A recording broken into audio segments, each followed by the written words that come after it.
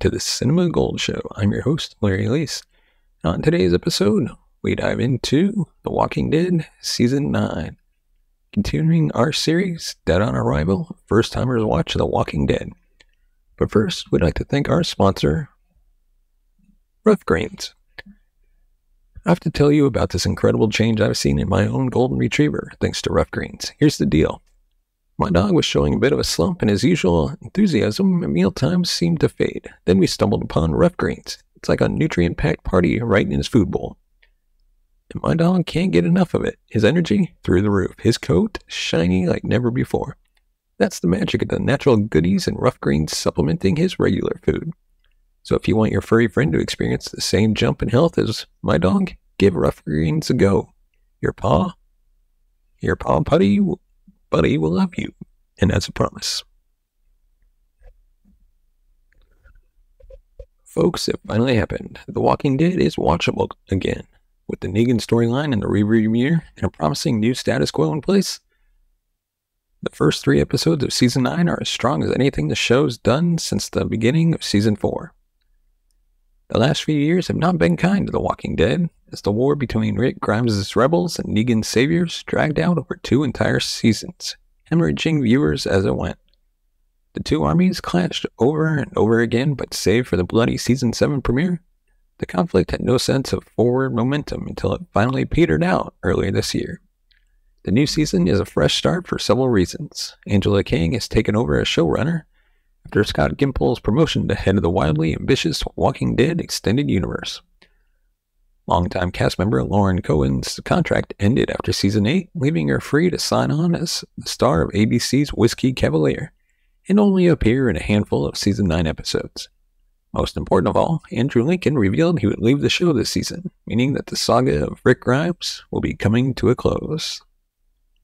The loss of both Rick and Maggie is quite a seismic shift for the show especially considering the season 8 ended with the tease of Maggie starting her own conflict with Rick, who had spared Negan at the dying request of his son Carl. If you were concerned that the actor's departures would abort that storyline, don't be. Because the three episodes of season 9 provided for review act as if none of the principals were imminently departing. The season picks up several months after the conclusion of Wrath, with all the various communities working together to build a new society.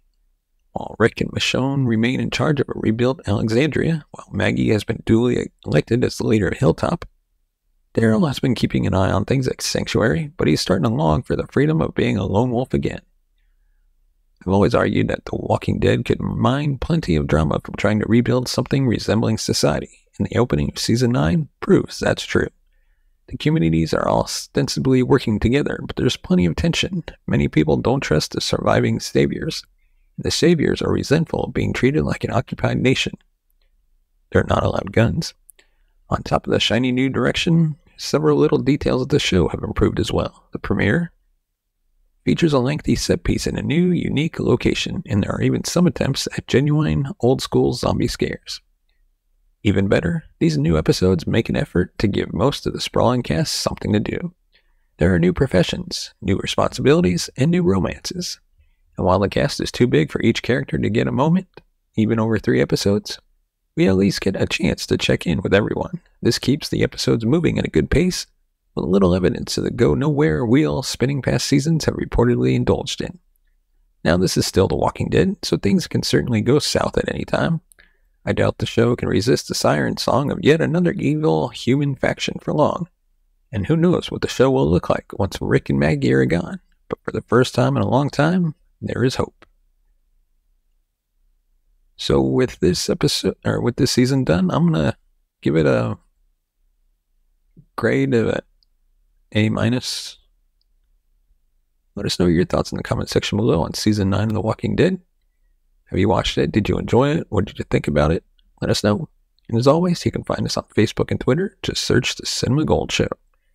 As always, if you want to support the channel, give us a thumbs up buy us a coffee at buymeacoffee.com slash cinemagold. Hit that bell notification button to be notified of future videos.